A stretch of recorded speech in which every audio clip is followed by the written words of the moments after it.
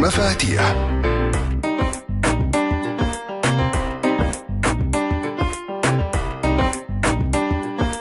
مع سعيد حنتوش والدكتور هاني الغامدي السلام عليكم ورحمة الله وبركاته. تمر علينا لحظات نعتقد أنه الحياة انتهت. نفقد الأمل. تتقفل أبواب الحياة في وجوهنا. ونظن إنه الحياة انتهت بالنسبة لنا. ويمكن ننسى أو نتناسى إنه الحياة أكبر بكثير من علاقة خرجت منها.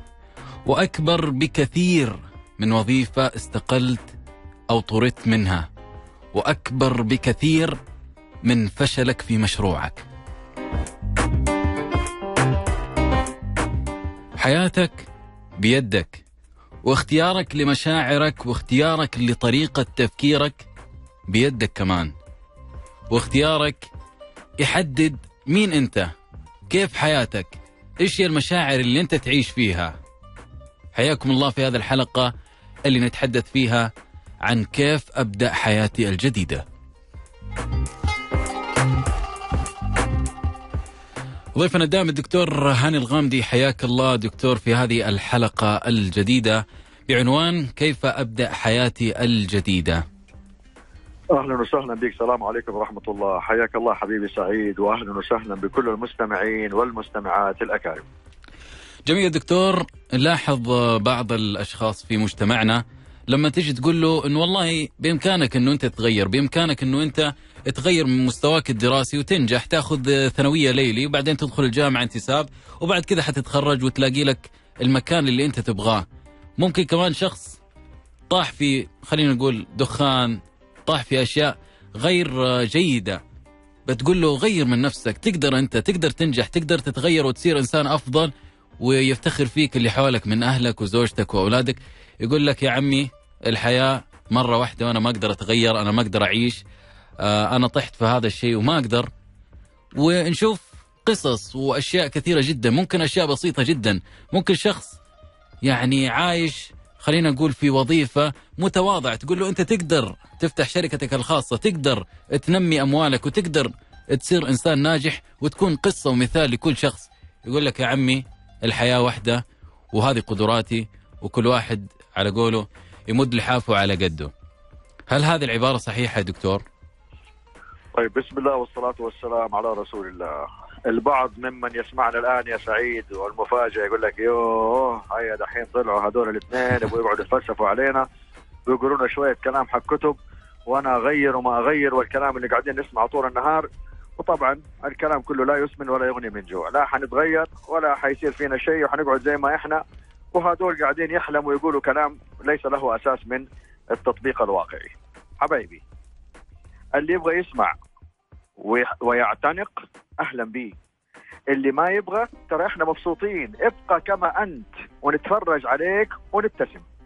اللي يبغى يركب قطار التغيير أهلا وسهلا به اللي شايف نفسه أو شايفة نفسها إنه ما من أمل وانتهت الأمور الله يبارك له الله يبارك لها. نتفرج عليكم. ونأشر لكم نقول لكم باي باي كده على قولتهم. من الشباك حق قطار التغيير. إيش هو قطار التغيير؟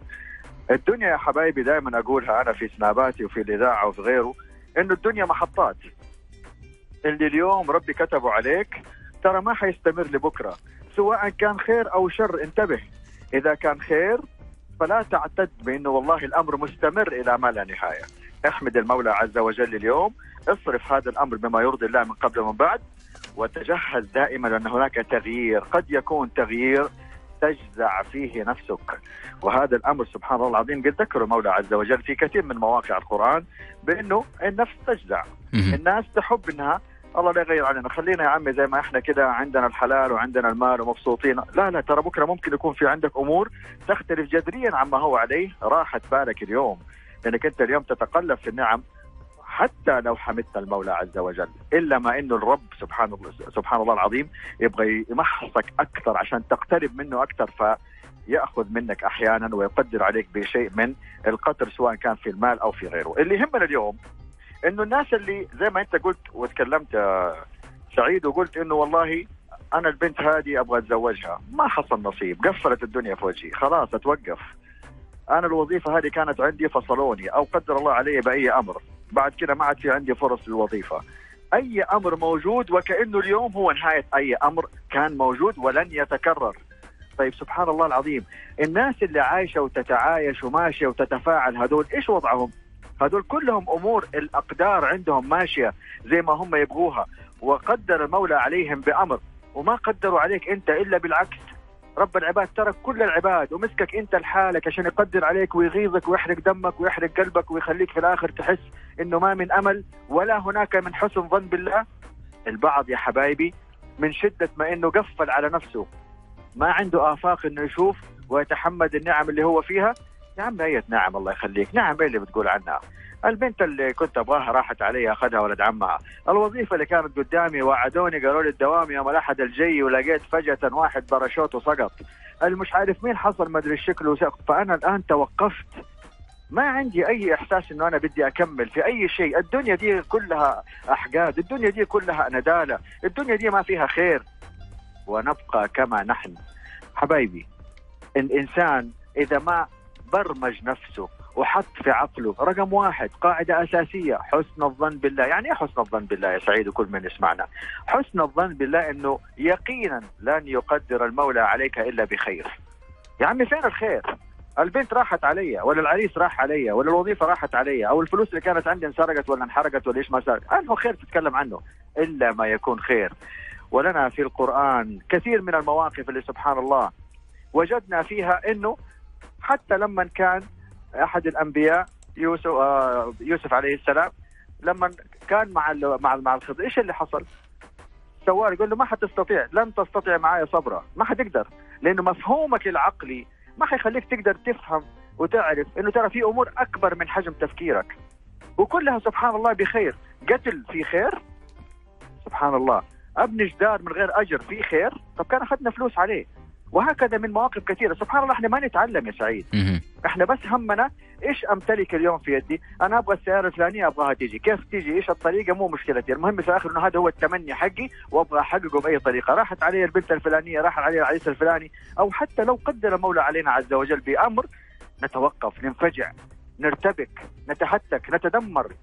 ما عندنا أي إقدام إلى أمر جديد. وبالتالي ابقى كما أنت. ابقى كما أنت. خليك في اللي انت فيه. إحنا بنتفرج عليك. ولو رجعنا مرة ثانية للمفهوم اللي أنا أقوله دائما إنه الدنيا محطات. اليوم أنا في شيء وبكرة في شيء آخر. إن شاء الله للأفضل. طب لو ما كان للأفضل كان أقل مما هو عليه الأمر. إذا هي عارف كيف الواحد لما يبغى ينط. أتذكروا المثل ده. أنا دائما كنت أقول المثل ده زمان. الواحد لما يبغى ينط إيش يسوي؟ ينزل لتحت عشان ينط أعلى لفوق، مش إحنا بنسوي كده؟ هكذا هي أقدار الدنيا أحيانا. قد تنزل إلى الحضيض أحيانا لتقفز تلك القفزة المباركة بحسن. الظن بالله أولا وأخيرا ثم بحسن قوتك وحسن تمكنك وحسن علمك وحسن فهمك وحسن إدارتك وحسن نيتك إذا بالآخر عشان تنط النطة اللي هي وجربوها تبغى تنط نطة صغيرة على طرف أصابعك حتوقف. ما النطه حتكون صغيره بس لما تبغى تنط نطة كبيرة لازم تنزل تحت لازم تطاطي عشان تنط النطه الكبيره والله يا أحبتي هكذا هي الأقدار أحيانا. أحيانا تنزلنا الأقدار لتحت يا ربي قدر ورا قدر ورا قدر كلها طخ طخ طخ طخ طخ. تنزل للحضيض إيش اللي حاصل؟ يا ربي كنت في نعم إيش اللي صار؟ طب في أمل؟ لا ما في أمل. مين اللي قال ما في أمل؟ أنا اللي قلت ما في أمل. كل الناس المنجزة كل الناس المنجزة. وأولهم مسمى حكيم. من هو الذي يسمى حكيما؟ هذا اللي تلطش في الدنيا. اتلطش لي أنا فاضي. أنا ما أبغى أتلطش. إذا خليني في حالي. ما تبغى تتلطش. براحتك. ما تبغى تصير حكيم. براحتك. ترى الحكمة أمر من النعم الكبيرة لرب العباد يوهبها لبعض عباده. صحيح. إنك أنت تعيش بحكمة. لأنه تحت الحكمة في عندك مسارات يا كسرها من ضمنها الرضا والحمد وإدارة المواقف والمعلومة والاتكاء على التجارب أشياء كثير. اذا بالتالي اليوم أنت لما يكون لك تجربة في نظرك أنها فاشلة وهي ليست فاشلة إنما هي فرصة لم لم يتمم لها النجاح. عشان لازم نعدل الكلمات هذه عشان عقلنا يبدأ ينطلق في آفاق إيجابية. لأنه لو قعدنا نقول فاشل فاشل فاشل معناته في الآخر الأمر كله بالنسبة لي فشل. كل ما هو حولي يمثل كلمة فشل وبالتالي عقلي ما حيبدأ يشتغل. لكن لما أعدل الكلمة وأبدأ أحط كلمة إيجابية والشيء بالشيء يذكر كل الخيبانين والخيبانات يلي حاطين اسمائهم المنيلة على تويتر وغيره المدمر في الأرض ال- السابحة في في ال- في المقابر الم- أسماء عجيبة غريبة. guys what's going on إيش بكم أنتوا؟ وتبغوا واحد يلتفت لكم؟ والله لما تجيني أحيانا بعض الرسائل من بعض الأسماء. أول شيء أقول لهم علي يا بنتي غير الاسم وارجعي لي دكتور أنا عندي غير الاسم وارجعي لي ما عندي استعداد إنه أنا أتعامل مع شخص مدمر إلى هذا. المعذبة في الأرض المش عارف إيه الكلام الكبير ده اللي أنتم بتقولوا إيه البرمجة الغبية السخيفة الساذجة اللي أنتم. خلاص أنا حعيش في هذا الأمر. سعيد أنا وأنت وكل مين يسمعنا.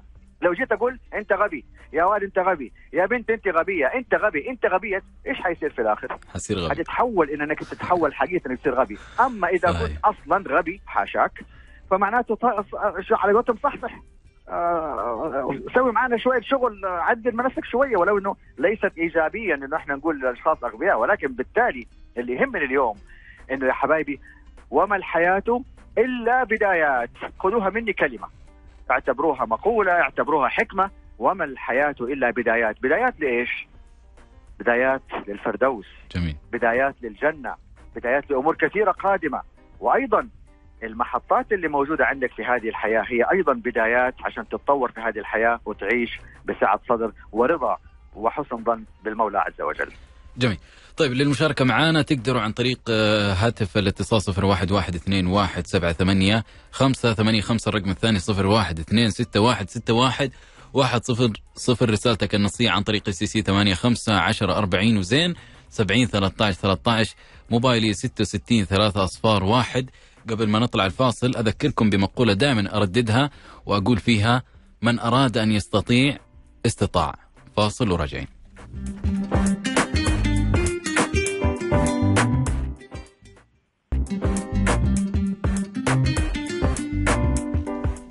ورجعنا لكم من جديد في برنامج مفاتيح مع سعادة الدكتور هاني الغامدي. أستاذنك دكتور ناخذ هذا الاتصال معانا. تفضل. السلام عليكم. عليكم السلام ورحمة الله. مساكم الله بالخير. الله وبركاته. تفضل. ألو. زيد فضلك ممكن الدكتور يسمعك. دكتور شلونك؟ طيب. الله آه يعطيك العافية. آه، أنا كانت عندي مشكلة عانيت منها. جلست يمكن حول سنتين. أنا طبعا ملكت. والحمد لله بعد قبل ما أدخل على زوجتي آه، صارت لي مصيبة. يعني الله اللهم لك الحمد. يعني مصيبة آه، جاءت على ظهري. وكنت كافل واحد كذا من الشباب من جماعتنا. وسبب لي مشكلة في المحكمة وسبب لي على مبلغ ما مبلغ. فتعرقلت أموري وصارت مشاكل ما بيني وبين أهل زوجتي. والحمد لله. يعني ما وقفت الدنيا على قولتك. حاولت إني أقاوم. آه، جبت جماعتي عند الشخص هذا اللي سبب لي مشكلة. حاولت إني يعني مثلا يسدد مبلغ يعني المبلغ كان كبير. وما كنت قادر وكنت متعطل يعني عن الشغل. بسبب إن الخدمات عندي موقفة وأموري تعرقلت شوي. طيب أخوي أحمد يا ليت توصل للنقطة اللي أنت حاب توصلها. اللي حبيت آه، إنه فعلا الدنيا هي مش واقفة على أحد. صحيح. و يعني دام رب العالمين ورب الوالدين معاك وتعالى. الحمد لله الأمور بتصير طيبة. والحين زانت الأمور أخوي أحمد؟ والله زانت ليش؟ لأنه بيدي حس يعني جلست فترة ممكن أقول لك إني وصلت لأشياء آه، استخدمتها في أشياء يعني آه، شيء لا يرضي الله ولا رسوله يعني. فحسيت إن الدنيا هذه ما وقفت على أحد. حاولت. اني افتح لي مشروع صغير. وفتحت لي مشروع صغير. فتحت لي محل اتصالات. اشتغلت فيه. جميل. حاولت إني أجمع. جمعت الحمد لله.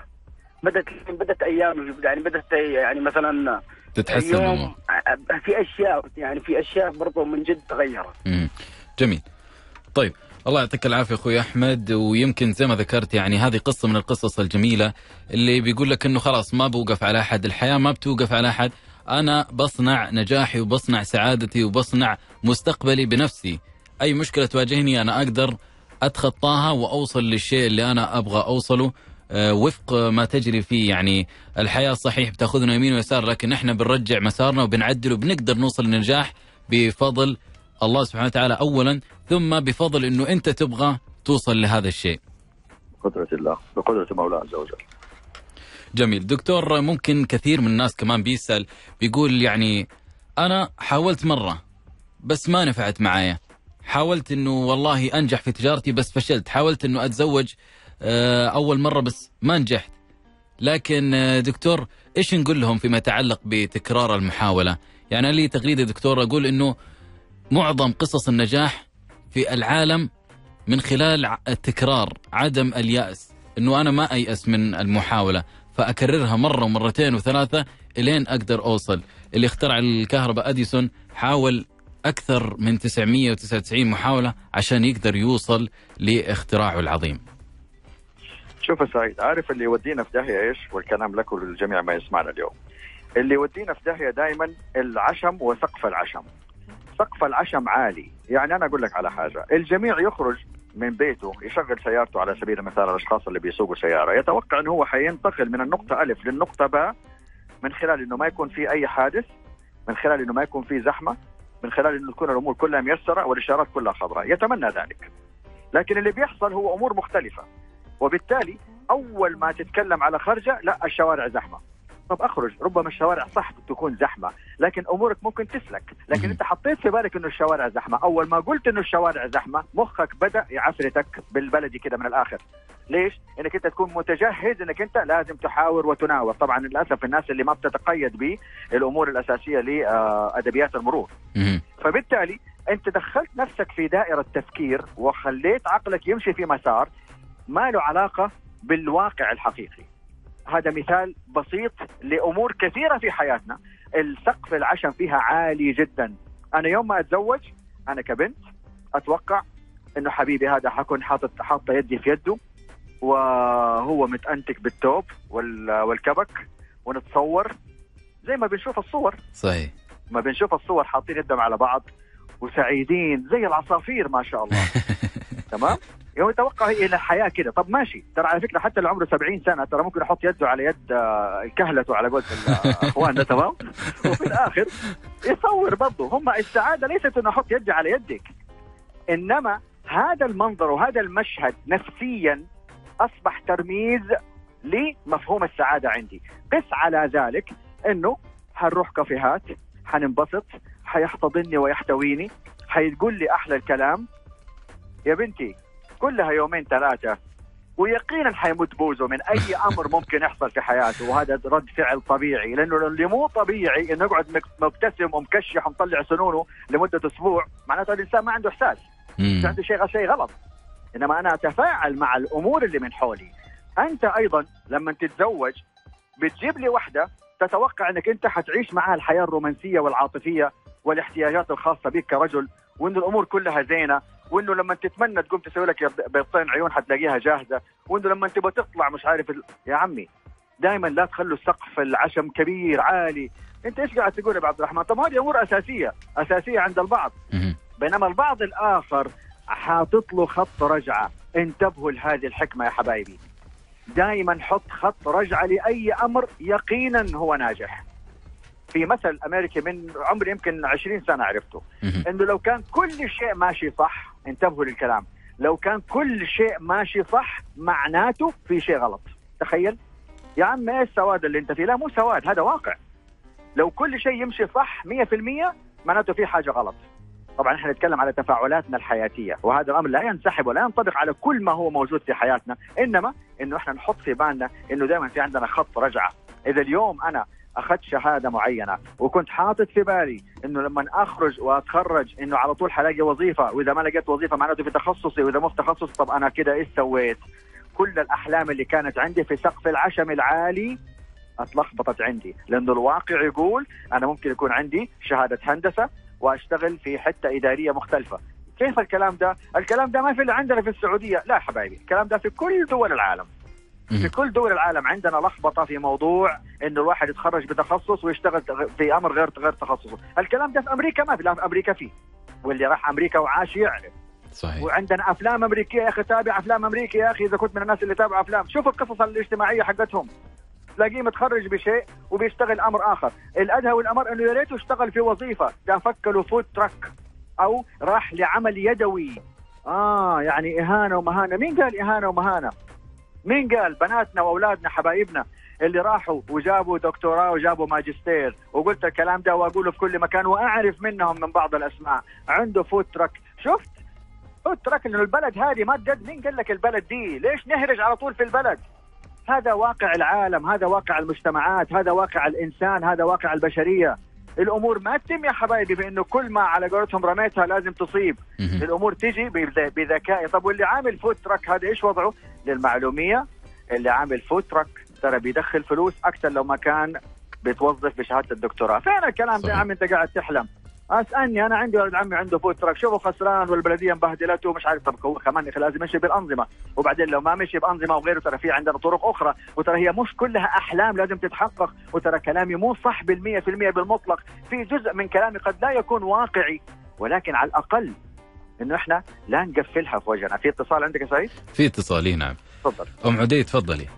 السلام عليكم. عليكم السلام ورحمة الله. وعليكم السلام ورحمة الله وبركاته.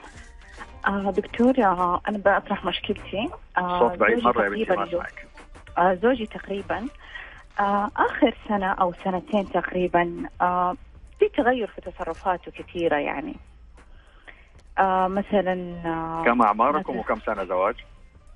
آه 12 سنة زواج. أنا عمري 30 هو عمره آه 43 تمام تفضلي.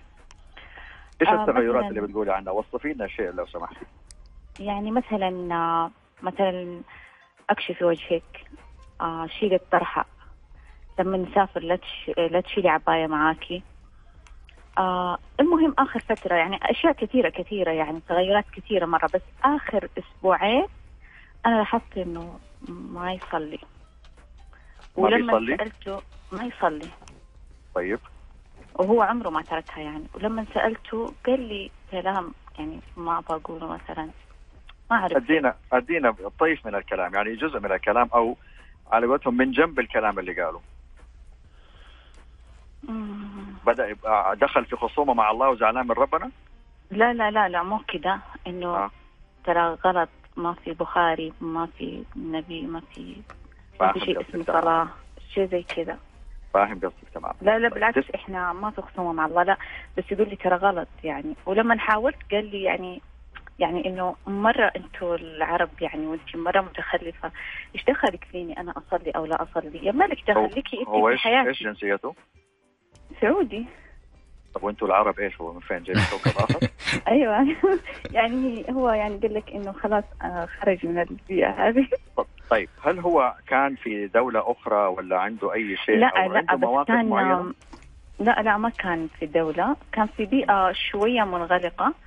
وبعدين آخر سنتين مرة يعني صار. طيب خذي رقمي من الكنترول لو سمحتي يا بنتي. جميل. آه okay. وتسمعي برضو الآن. خلاص خليك أم عدي على على التليفون يعني لا تقفلي عشان نعطيك رقم الدكتور هاني. طيب دكتور نتكلم عن حالتها ولا ممكن نتكلم. جميل تفضل.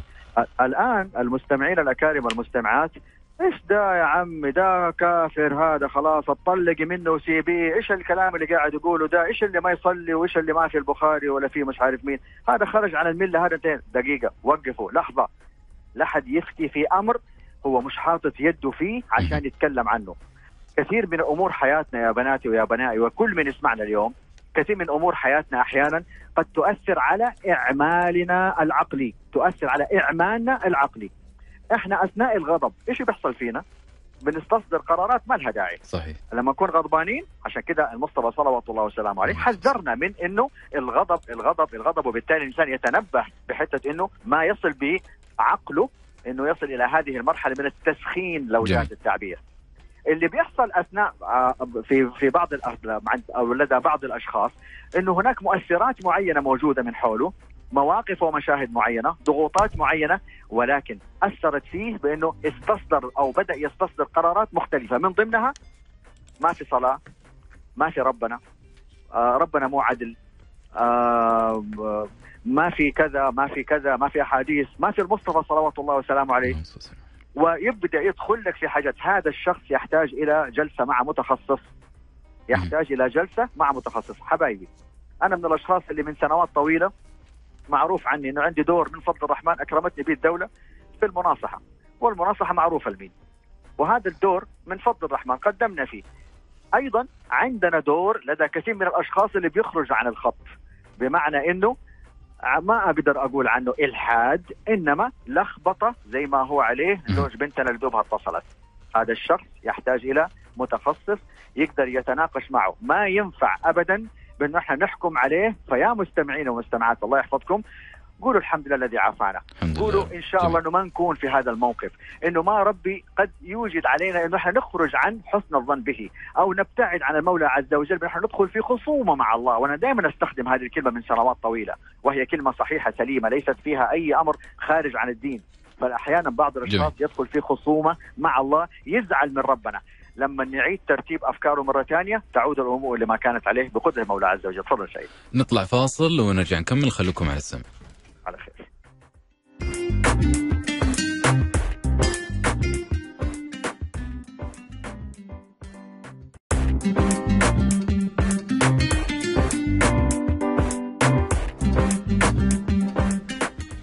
رجعنا من جديد معكم مستمعينا الكرام مع الدكتور هاني الغامدي في برنامج مفاتيح. دكتور يمكن أم عدي كانت تتكلم عن تغير زوجها. نعم بدأ حياة جديدة ولكن ممكن تكون بطريقة سلبية. أحسنت. كيف؟ احسنت صحيح. مهم. كيف نقدر نبدأ حياة جديدة بطريقة إيجابية دكتور؟ تمام. إحنا عندنا خطوط أساسية يا سعيد وكل من يسمعنا. أهمها وأولها الخط الشرعي. الخط الشرعي ده أنا أغير لل- للقربة من المولى عز وجل. أغير للاقتراب من الخط المستقيم وطريق الحق وليس العكس. أحيانا بعض الأشخاص قد يكون عنده الالتزام بالخط الشرعي ولكن ظروف معينة قد تمر به في حياته تجعل من اعماله العقلي مش إنه يضرب يفرط يتجنن لا. اتلخبط. وبالتالي يعاد إلى الخط المستقيم مرة أخرى. كل ما نقعد نناهض في هؤلاء وننبذهم ونبعدهم كل ما تزيد الهوة عندهم ويبعدوا أكثر عن الخط الشرعي. لذلك لابد من الاحتواء. وهذا ما هو عليه سبيل كثير من الأمور اللي أنا ذكرتها قبل الفاصل. بالتالي عملية الاحتواء هي ليست المناهضة. مو كل من جاء قال كلمة نبذناه كفرناه بعدناه خليناه بعيد عننا تركناه لا قد تكون يا بنتي أنت معول البناء الإيجابي في هذا الإنسان ولكن بالحسنى طيب لو زاد عن الحد لو. لو حسينا هو خرج عن الملة عندنا مساعدات من أشخاص متخصصين أو بالاستعانة بحكم من أهله وحكم من أهلها بحيث إنه في الآخر الأمر يتم إنه نسدد ونقارب جميل. لكن ما ينفع حتة إنه إحنا واحد أنا زوجي ما يصلي ودائما تلاقي حتى في المحاكم شيوخ أفاضل كثر بنتواجه مع بعض ونجلس أول ما تدخل المرأة عشان تقول آه، آه، هذا زوجي ما يصلي ليه ما انت يا بنتي؟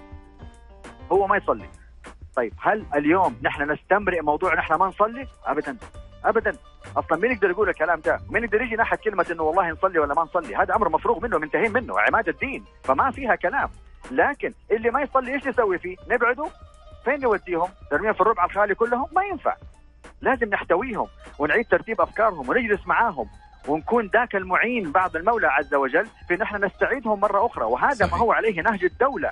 الدولة يوم ما كان عندنا بعض المناهضين لكثير من الأفكار سواء كان على مستوى السياسي أو المستوى الأدائي أو المستوى الشرعي إيش اللي سووا فيهم؟ حاربوهم وقتلوهم وحطوهم انت... لا لا. عندنا جزئية الاحتواء نعيد ترتيب أفكارهم مرة ثانية وبالتالي نستفيد منهم كمعول بناء في هذا الوطن. هكذا هي أمور البيوت أيضا. جميل. ولكن لكل أمر حدود يا حبايبي. ما يجيني واحد طول النهار مخدرات وخمر وسهرات ويعني أمور آه، فيها خروج عن النص بال- بال- بالكامل. وأقول والله أنا ممكن. ساندي يا بنتي ما نقول لا لا، عينيه على الله انصحيه ولكن لكل أمر حد أو حتى لما يطلب منها أمور غير شرعية. يعني في عندي قضايا كثير بتجيني يا سعيد أنا زي هذا ما أقدر أصبر عليه. لما يتحول هذا الإنسان إلى أمور خارجه عن الدين، خارجه عن الإنسانية، خارجه عن المفهوم الزواجي أو المفهوم الأسري، لا معليش أنا ما أقدر ما أقدر أتحمل إنه هذه البنت قد إنها يعني تنفذ أحد الطلبات الغير منطقية، لا شرعا ولا انسانيا ولا ولا زواجيا ولا اسريا. أقول والله ممكن نحتويه في بعض الأمور نتوقف عندها ونرفض ونتخذ قرارنا. تفضل. جميل. تهاني معانا كمان اتصال تفضلي. السلام عليكم. عليكم السلام ورحمة الله. وعليكم السلام ورحمة الله وبركاته. معي طفلتين واحدة خمس سنوات واحدة أربع سنوات دائما مضاربة. بنات أربع سنوات وخمس سنوات ودائما يتضاربوا؟ إذا؟ جميل. آه، ما يخافوا من كلامي حتى أنصحهم زي كذا ما يخافوا من كلامي. يخافوا من كلام أبوهم. آه، صرت أهددهم أقول أبوهم زي كذا لأن أبوهم أحيانا عشر أيام معانا وعشر أيام آه، في دوامة مو دائما معانا أحيانا إذا خلال العشر يجوا أيام اللي الابو ما يكون موجود فيهم أنت إيش يكون دورك؟ دورك إن هم ما يسمعوا كلامك صح؟ كذا أسمع كلام أبوهم أكثر طيب إديني مثال على إنه ما يسمعوا الكلام، المثال إنه هذول البنتين ما يسمعوا الكلام، اعطيني مثال بارك الله فيك. مثلا إذا اضطربوا زي كذا أنصحهم حاولوا معاهم إذا إيش؟ ما يمسوا ما يمسوا أبدا يعني معلش ما أنا تقول إذا تضاربوا يا دكتور آه، ما بيسمعوا الكلام لما أنا أقول لهم يعني وقفوا أو إنه أنصحهم طيب ع- هل أنت عاقبتيهم بالحرمان؟ حرمتيهم من أمور يحبوها؟ إذا أحيانا أعاقبهم أحيانا لا طيب تسمعي بس الله يحفظك. طيب آه، أربع سنوات عندها طبعا بنتين تقول أربع سنوات وخمس سنوات آه، أبوهم بيكون عشر أيام موجود معاهم وعشر أيام ثاني بيكون موجود في دوامه. في العشر أيام اللي ما بيكون موجود آه، معاهم في البيت بيتضاربوا بيسووا أشياء ما ترضاها الأم. طبعا فلما بتنهاهم أو بتقول لهم أو بتنصحهم ما بيسمعوا كلامها. فإيش المشكلة وإيش الحل يا دكتور؟ طيب أمور التربية يا كثر ما تكلمت فيها هنا وعندي طبعا برنامج آخر بنتكلم فيه في جزء التربية بشكل أك... بشكل أكبر على إذاعة أخرى، اللي يهمني في الموضوع إنه يا كثر ما تكلمنا في الإذاعة الثانية أو حتى على السناب عندي يا حبايبي يا كل أب وكل أم. ترى هذا الشخص اللي هو الطفل اللي أمامكم من سن السنتين يبدأ يفهم يبدأ يميز حركاتكم ويبدا يتلاعب عليكم. يبدأ يت... أبو سنتين نعم أبو سنتين يبدأ يتلاعب عليكم بحيث إنه هو يأخذ من الأقرب الأميل اللي ممكن ينفذ له طلباته. هذا نقطة والنقطة الأسوأ من ذلك لما ما يكون عندكم مسار واضح لمفهوم العقوبات. طبعا مفهوم العقوبات يبدأ وينتهي بموضوع الحرمان. إحنا لا نتحدث عن الضرب. ولكن ما نتحدث عن العنف. وبالتالي المرة هذه أنا سويت شقاوة اطلطشت تلطيش ما في بعده. المرة الثانية سويت نفس الشقاوة وبس يا ولد. المرة الثالثة سويت الشقاوة نفسها ويتفرج علي أبويا وأمي ما في أي رد فعل. بالله عليكم. الأمر هذا لو تم على مستوى قيادتنا للسيارة. نقطع إشارة ما في أي مخالفة. العسكري يقول لك اتفضل ويبتسم لك. أقطع إشارة ثانية يحط عليها مخالفه 2000 ريال. أقطع إشارة ثالثة آه، أتسبب في حادث وأفلت منه. بالله عليكم إيش يكون مفهوم القيادة أو مفهوم أنظمة القيادة أو ال- أو المرور اللي موجودة في هذه الم... في هذه الم- المدينة أو أو الدولة؟ أكيد ما لها ما لها مرجع. الأمور مفلتة. اذا هو نفس الأمر الجزء التربوي. لازم يكون عندنا منهج منهج واضح. اللي ودانا في داهية إن إحنا ما عندنا منهج وهذول الأطفال يتلاعبوا علينا. لدرجة إنه يا كثر ما حكيت ويا كثر ما تكلمت على إنه بعض الأطفال يسوي الشقاوة ويجي يقول لك أضربني وفي أبشرك كمان في ترى في بعض السنابات والله تطلع. يعني بعض المقاطع موجودة. إنه الطفل من كثر ما هو خلاص عارف ديتها عارف ديتها إيش أسوي اللي في راسي؟ يلا يضربني يضربني يقوم الابو يخبطه خبطه على الكتف ولا خبط ولا كف ولا على الرأس ولا إيش ما كانت وخلاص أخذت اخوتي وأروح أجننكم مرة ثانية وأسوي اللي في راسي. حبايبي التربية فن فن من الفنون العظيمة. إذا ما عرفنا كيف نربي وإذا اكتشفنا إنه في عندنا اختلالات في ردود أفعال من هم موجودين تحت إمرتنا كرعية عندنا معناته عندنا إشكالية في إدارتنا للجزء التربوي في هذا البيت. إيش نسوي ساعتها؟ المتخصصين مرة ثانية. ويا كثر ما هم موجودين. على برنامجنا موجود. ما هو هاني. عندنا ما شاء الله عدد كبير من البرامج اللي موجودين للاساتذه والدكتورات وال- والدكاترة الأفاضل على ألف ألف. وإذاعات أخرى. وأيضا عندنا الكنز الكبير عمنا جوجل. جميل. اكت- اكتبوا في جوجل. تربية مش عارف مين. ضرب الأطفال. عقوبات. اكتبوا. يا حبايبي اتعلموا. اقرأوا. شوفوا. ابحثوا. ما ينفع إنه أنا يكون عندي قضية وأنا قاعد أتفرج عليها والله ما أعرف إيش القضية. عندي عندي مشكلة الأولاد اتضاربوا طب أدخل في جوجل أدخل يا أم في جوجل أدخل يا أبو في جوجل. شوف بدل ما تقعد أنت تروح وتدور وتبحث عن أشخاص معينين يقولوا لك كلمتين وقد لا يكونوا أو لا يكون كلام ناجع أو صحيح يا أخي أدخل في جوجل شوف. عندك دكاترة أفاضل معتمدين موثقين معروفين يعطوك الإجابات اللي قد تقرب لك ماهية القيادة الحقيقية للمفهوم التربوي داخل بيت الأسرة. جميل. طيب ناخذ هذا الاتصال معنا إبراهيم. السلام عليكم عليكم السلام ورحمة الله وعليكم حالك السلام ورحمة الله؟ وبركاته. الله يحييك يا حبيبي تفضل كيف حالك يا دكتور؟ الله يحفظك علي صوتك إبراهيم الله يديك العافية. آه كذا كويس؟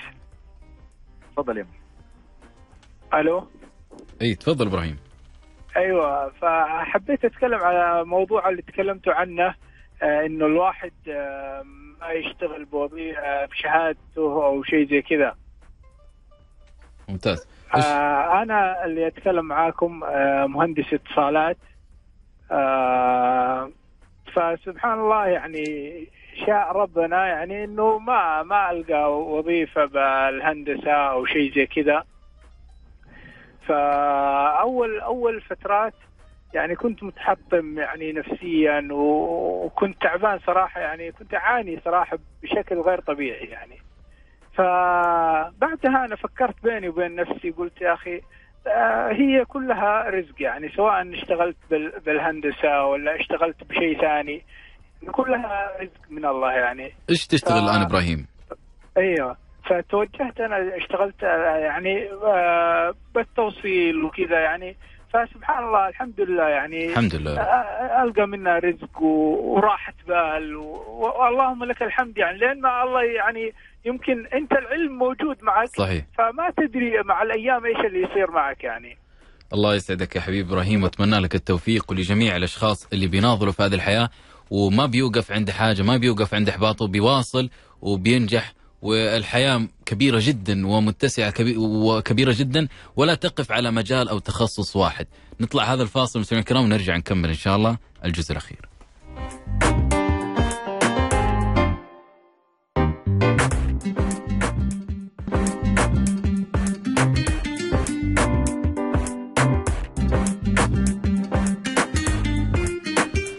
يا مرحبا فيكم من جديد رجعنا في هذه الحلقة من برنامج مفاتيح مع سعادة الدكتور هاني الغامدي حياك الله دكتور في هذا الجزء الأخير أهلا بك حبيبي كم باقي لنا سعيد؟ خلاص باقي لنا أقل من 12 دقيقة طيب تفضل طيب دكتور إحنا لاحظ بعض الأشخاص اللي نشوفهم ناجحين سواء في مجال الأدب، الفن، الإعلام، آه، المجالات العلمية، المجال الوظيفي، بنشوف هذول الناس كذا نحسهم عظماء في الصور في الفيديوهات، نحسهم ناس مميزين.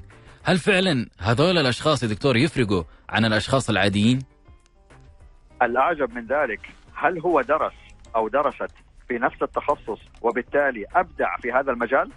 ترى مفاجأة كبيرة إنه لو رحنا لسيرة ذاتية لكثير من الأشخاص المعروفة اسمائهم نكتشف إنه دراسته أو دراستها لم تكن ضمن التخصص اللي هو أبدع فيه، صحيح. سواء حتى على مستوى الأدب حتى على مستوى بعض الأدباء الكبار.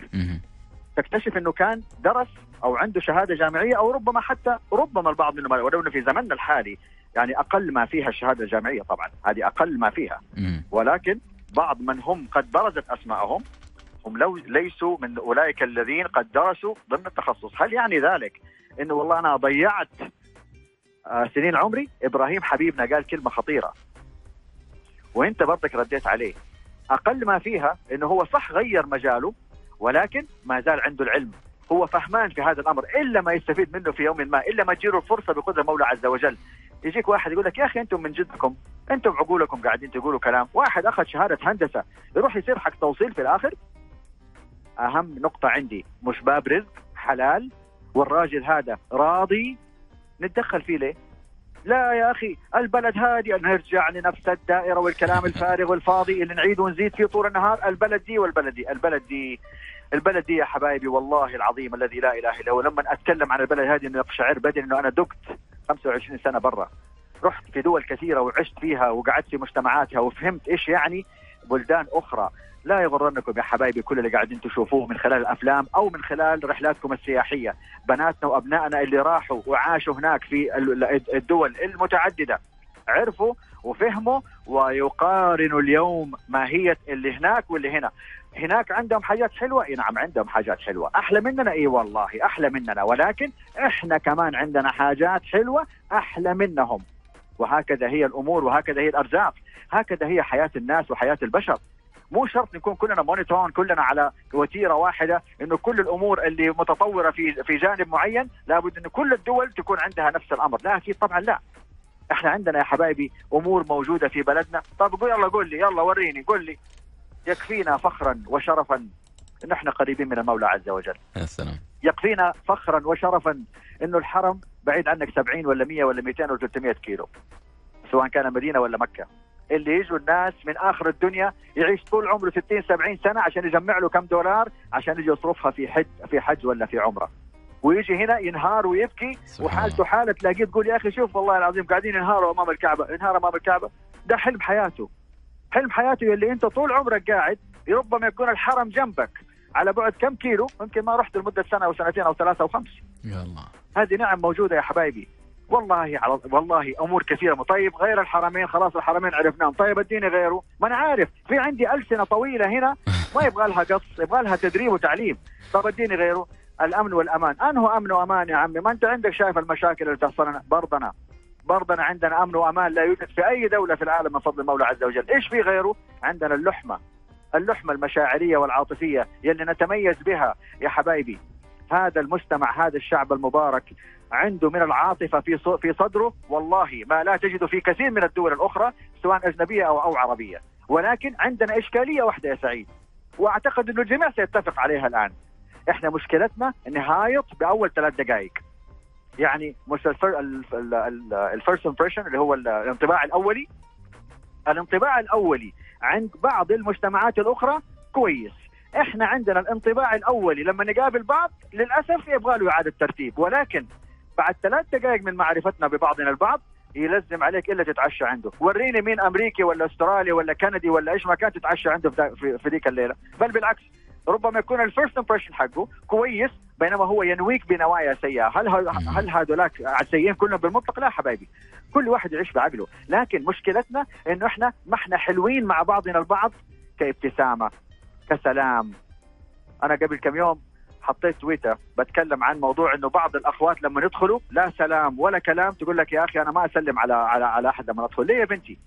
فين داخلة انت ليش عندنا سوء النية بأنه إحنا ممكن لو دخلنا في أي مكان استقبال أو مستشفى أو أي مكان إذا قلت السلام عليكم معناته ان أنت في الآخر إنسانة والعياذ بالله سيئة. أو إنه صوتك إذا خرج ممكن يكون في أمر لا لا يقبل الله ولا رسوله المؤمن ارجعوا لل- لل- للسنة النبوية بارك الله فيكم. ارجعوا لل- للأصل في الدين. يا حبايبي في كثير من الأمور للأسف إن إحنا سيئين فيها. أنا لو قلت سلام عليكم يمكن يحسبوني أتمالح. إيش دخل التمالح في سلام عليكم؟ لا معلش عندنا عقول ما هي نظيفة. مو مش مشكلتنا نحن نظن في بعضنا البعض بالسوء. صحيح. بينما إحنا طيبين وحلوين. إحنا حلوين طيبين عاطفيين. بالمرة قلوبنا بيضة. أحسن من غيرنا بكثير. ابرزوا يا حبايبي أفضل ما عندكم. ابرزوا أفضل ما عندكم لأنه في الآخر ترى ما حيبقى لك غير الكم من الحسنات اللي بتكسبها بابتسامة أو بسلام أو بتقديم مساعدة لأحد أو باحتوائه أو بال- بالحديث ال- ال- الهين اللين معه. يا حبايبي الأمور ترى اليوم كلنا أنا وأنت نصطدم ترى حنبقى ذكرى كلنا حنموت في الآخر ماذا تركت؟ ما هو الرصيد اللي تركته؟ ما هو الأثر اللي تركته؟ لازم نعيد ترتيب أخلاقياتنا وسلوكياتنا أقل ما فيها ركزوا معايا في اول ثلاث دقائق مع بعض الله يخليكم. على الأقل لما ندخل مكان بكل أسف السلام عليكم ما حد يرد عليك. ما أفرض عليهم إلا تسلموا عليه خلاص الله يهديهم برضي ما زلت مبتسم إن شاء الله تدخل عند صراف تقول سلام عليكم وطالع فيك بنص عين كده يرجع مرة ثانية يكمل ال- ال- العملية حق ولا كأنه سمعك ويا ويلك طبعا لو كان دخلت وكان في امرأة وقلت سلام عليكم. أنا والله أدخل أي مكان أقول سلام عليكم سواء كان في نساء ولا رجال. وافشي السلام في كل خطواتي من فضل الرحمن. آه يا عم أنت ما في بعدك. لا حبايبي أنا تعلمت من ناس أفاضل. علموني بأن أرمي هذه الكلمة واكسب ال 30 حسنة حقتي من غير ما أتعب. قلت السلام عليكم ورحمة الله. شكرا.